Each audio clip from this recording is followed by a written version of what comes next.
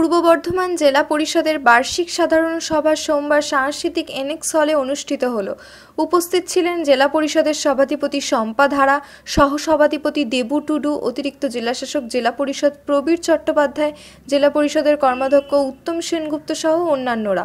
গ্রাম পঞ্চায়েতগুলি পরিচালনার ক্ষেত্রে যে সমস্ত সমস্যা রয়েছে, সেই সমস্ত সমস্যাগুলি নিয়ে আলাপ আলোচনা হলো এদিনের এই সভায়। পূর্ব বর্ধমান থেকে পাপাই সরকারের report, news Bangla twenty four into seven.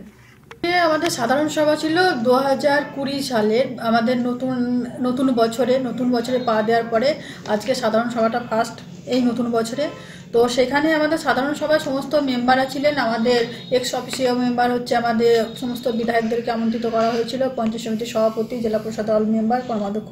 তো সেখানে মূলত আমাদের আলোচনা হয়েছে বিভিন্ন আমাদের যে বিভিন্ন প্রকল্প নিয়ে বিভিন্ন প্রজেক্ট প্রকল্প বলতে যেমন পিএইচি আছে ধরুন বিভিন্ন এখন যে আমার ধান কেনা চলছে এইসব আম, এবং আমাদের রাস্তা এখন জেলা পরিষদের আমাদের রাস্তাগুলো আছে এসআরডি রাস্তাগুলো আছে সমস্ত উন্নয়নমূলক যেগুলো আলোচনা আছে এবং সেইখান থেকে ধরুন যে আমাদের জেলা পরিষদের মেম্বারদের একটা ভূমিকা থাকে, যে তাদের এলাকায় কি কি কাজ আছে, কোন কোন কাজটা কখন কাজটা করতে হবে, সেই সংক্রান্ত বিষয়ে নিয়ে আজকে আলোচনা করা হলো। যে তারা প্রত্যেকটা মেম্বারে একটা করে প্রস্তাব দিল।